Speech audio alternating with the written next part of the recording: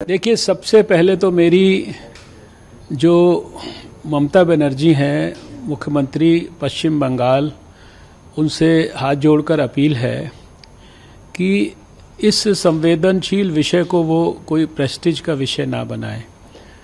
डॉक्टरों ने अगर इतनी ज़्यादा पिटाई होने के बावजूद, सिर फटने के बावजूद, उनसे केवल एक ही मांग की है कि हमारी सुरक्षा के पर्याप्त इंतज़ाम करिए। जिन लोगों ने हमारे साथ मारपिटाई की है, उनके खिलाफ कानून के तहत जो भी संभव है, वो एक्शन लीजिए।